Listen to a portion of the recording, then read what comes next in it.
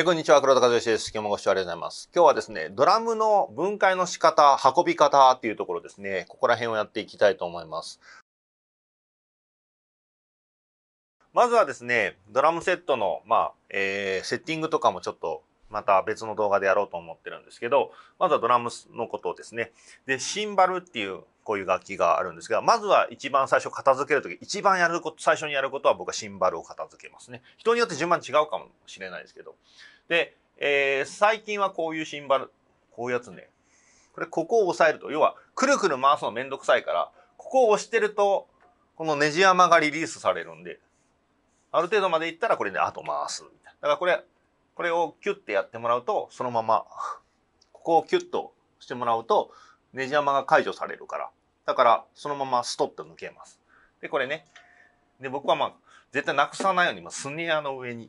なんかどっかルールを決めとかないと、これもうめちゃくちゃなくすんですよ。で、これ意外とバカにならないんで、こういうのね。で、シンバルの。で、シンバルに関してはですね、こういうタイプのケースと、こういうタイプのケースが、こんなのあります。どっちがいいかというと、こっちの方が簡単です。で、通常は僕はこっちを使うのがいいんじゃないかなと思います。さっと入れるからね。ただね、えっ、ー、と、僕はこれずっと使ってたんですけど、これが何でいいかというとですね、これはですね、えー、シンバルって、もともと打楽器なんで、要は、投げられても総称は大丈夫なんですけど、要は、ここの衝撃には強く作られてるんですが、こっちからの打撃のめちゃくちゃ弱いんですよ。だからこっからひび入っちゃうんで、そうするとこれは、こうやってやっておくと、要はどんなに投げられても、ここの衝撃、要はここの衝撃は浮くわけでしょ。だからここは空白で、これが、よっぽどこれが真っ二つにならない限りは、少々投げられても大丈夫。だからここでこうネジで固定しとけるのね。だから、まあ、僕飛行機で移動することが多いときは、えっ、ー、と、こっちを使います。なので、海外行ったりするときとか、えー、は、こっちは、機内に持ち込めるときはいいんだけど、基本嫌がられるし、鉄だしね。で、僕あの、昔これで、えー、トランジットで銃口を突きつけられたことがあるんで、これは何だって言われて、いや、どう見たってシンバルだろうって。普通の人はシンバル知らないからね。だからこういうところにまず入れます。ね。ここに。手間にまず入れます。シンバル。で、ハイハット、ハイハットの構造ちょっと後でやります。ハイハットシンバル。ここは乗ってるだけだからね。で、外して。で、これは、ここを外すと、緩めると、こういう風になっています。なので、これもなくさないようにね。で、必ずクラッチを、これクラッチって言うんですけど、クラッチをここに、ちゃんと、これなくさないようにね。で、えー、これを戻すという。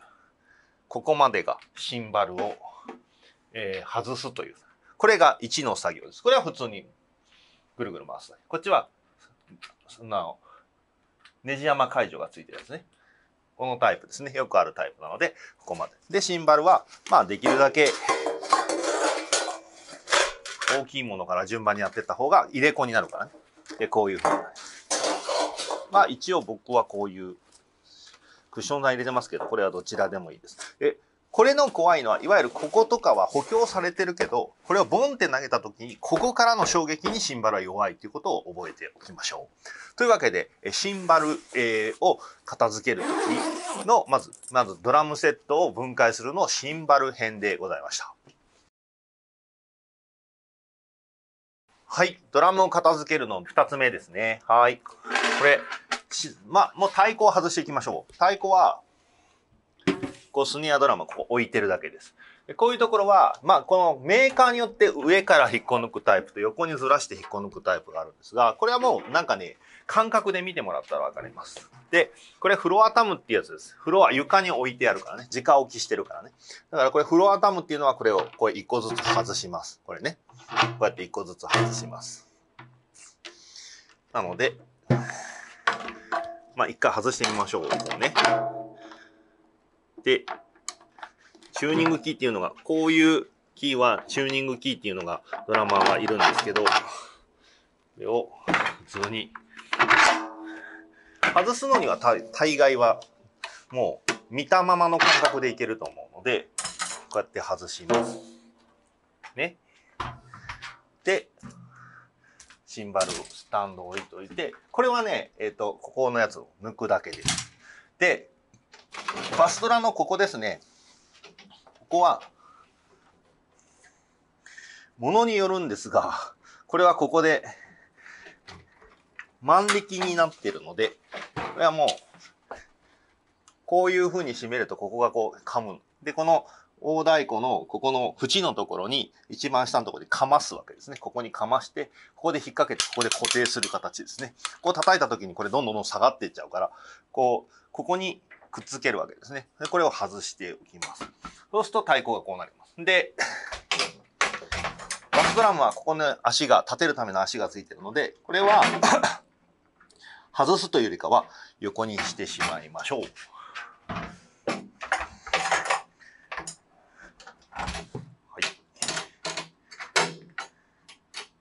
こういうふうですね。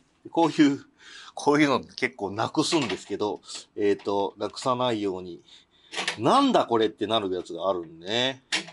間違いなくこう、わかるとこは絶対にこう、放置すると絶対なくすからね。という形で、ここまで分解するっていうのが第2弾でございました。はい、次にケースに入れるっていうのをやっていくんですが、このケース、このプロテクションラケット、別に僕ここのエンドサやってるわけでも何でもないんですが、えー、プロテクションラケット、これはあの、イギリスの、えー、サーフィンのそういうこうケースのメーカーで、が、まあだからサーフボードをね、こう、ケースだからものすごく丈夫で、で、軽くていいっていうことでですね、非常に流行ってるし、僕もすごく使い勝手がある。これで全然いいと思うんですが、まああの、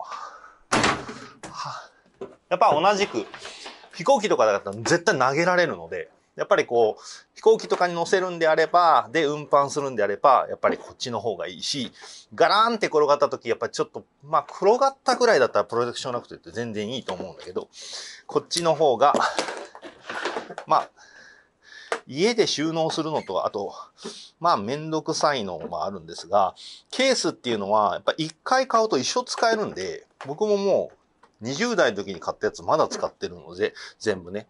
だからね、最初に、もう買った時に一緒にセットで買ってしまいましょうね。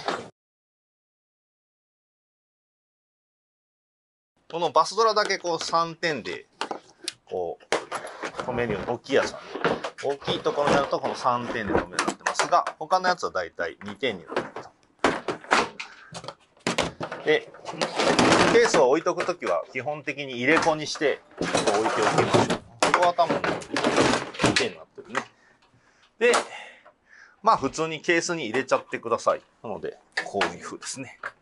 こうやって、ポンと入れて、ここに毛布巻く人もいますし、まあもちろんその方が、えー、っと、傷つきにくいですよね。中でガンガン動くんで。で、これですね。で、これは、こういう風になってて、こう2本に通して戻して1本にこうやって入れるんですが、これでいいんですけど、えっ、ー、と、これ今時やる人いないのかな？これだとすごいこう外すときにめっちゃ時間かかるでしょだから、ここを戻すときに、折って二重にして、で、これ、嫌がる人もいます。で、ここ、こ下引っ張るのね。そうするとしぎゅって締まるから、で、外すときはこの上を引いてあげれば、発で外せるということになってるんですが、まあ、僕は昔からこれ好きですね。あの、出すときパパパパって出せるんで、これで、なんでこれやってないんだと思うこともありますが、これただ緩みやすいし、えー、実際に表紙で外してしまうこともあるじゃないですか。で、これね、こういう風になっちゃうんで、これなると、これまあ僕ペンチで広げて戻って直しちゃいますけど、まああの、まあある程度寿命が来ると、この皮だけえー、この紐だけ直してもらうことはできるので、まあ、これめんどくさいんで、このまま戻します。ね。で、こういうところ横着しないでやりなさいとうちは師匠に言われましたね。はい。こういうふうですね。で、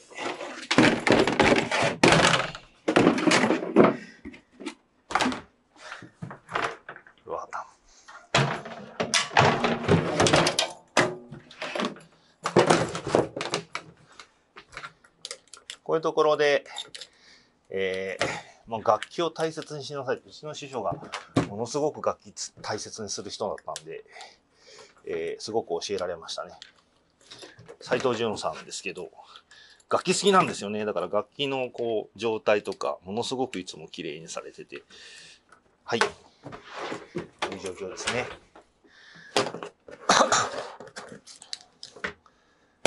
で、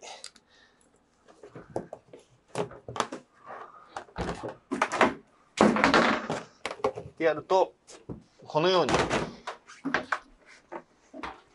積んでしまいます。で、このちっちゃい太鼓の場合は、このベルトが1個しかないんで、簡単なんですけど、このようにしてしまいましょう。で、まあ、スネアスネアケースが、今スネアケースが見当たらないので、ここまでにしたいと思いますが、これでドラムセットはここまで完了です。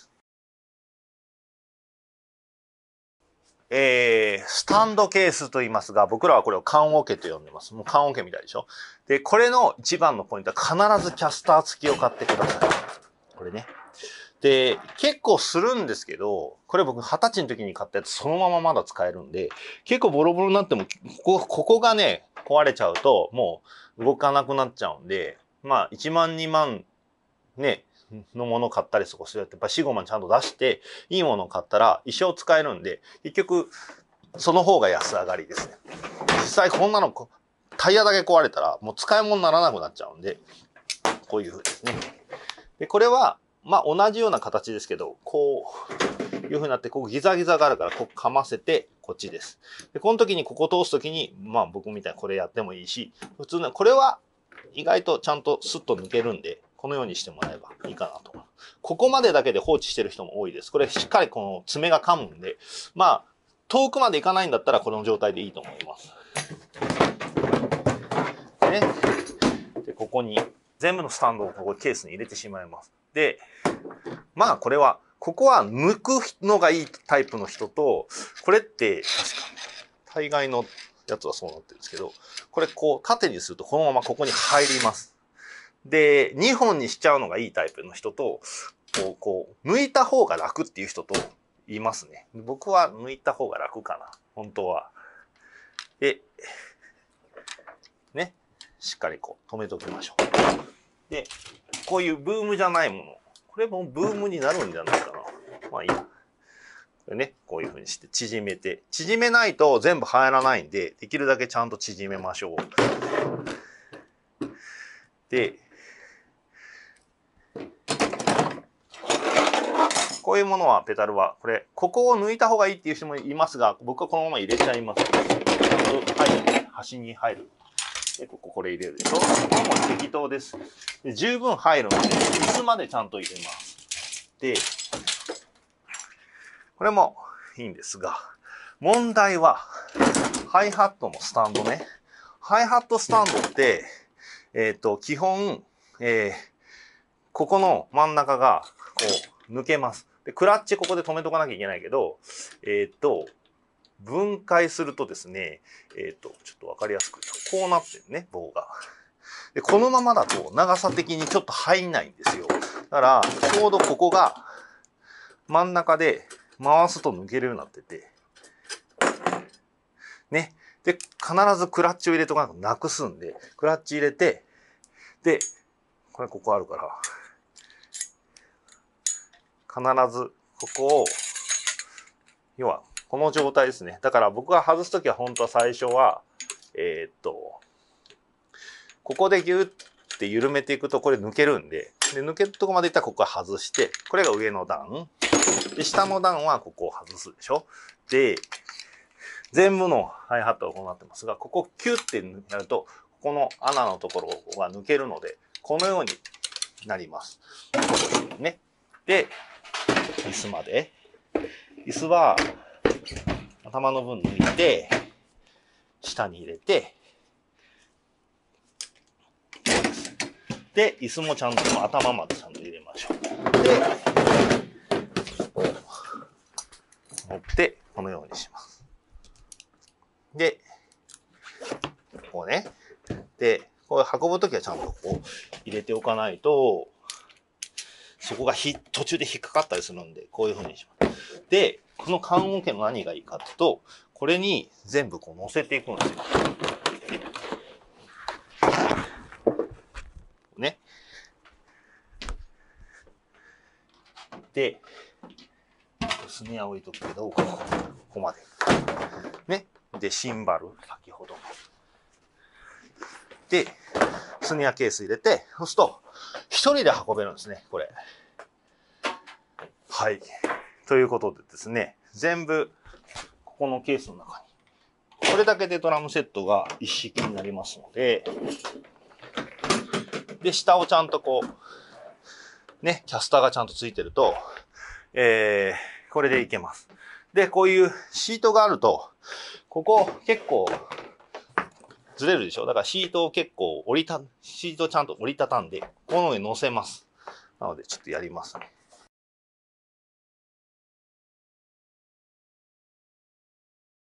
こういうふうに乗せて、そうすと、これって滑り止めでしょ？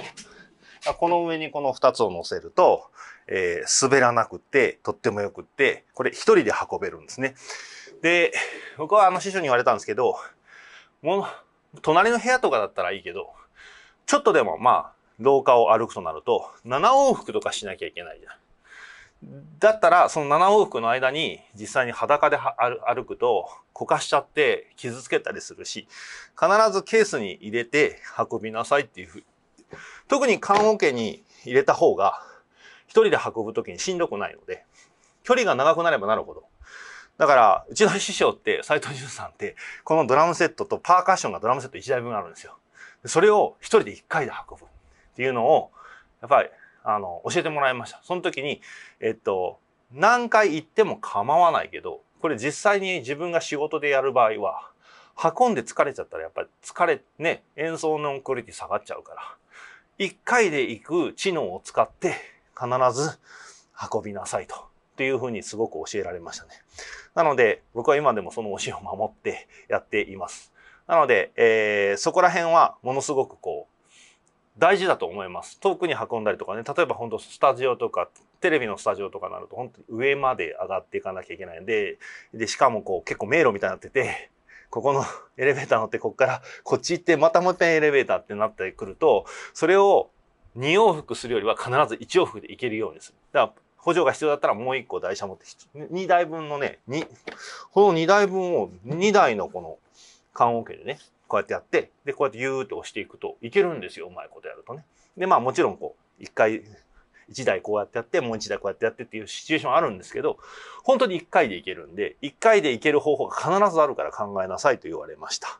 というわけで、えー、こうやってやると、ここに乗せて一回で運べれるので、えー、ぜひ、あの、あの、めんどくさいですけど、ただそうすることによって、これ、結構やってると、あ、ここネジなくなってるなとか、っていう、やっぱりメンテナンスになるんで、演奏中にネジがなくなって、こう、立たなくなったとかってなることも防げるので、えー、いいかなと思います。ね、僕はそこまで細かくやってないですけど、でもまあ運ぶのは必ず、えっ、ー、と、ちょっとしたとこ行くのにも絶対一回ケースに入れます。だいたいね、後で測ってみようかな。10分もかからないんで、ここに入れてしまうことは。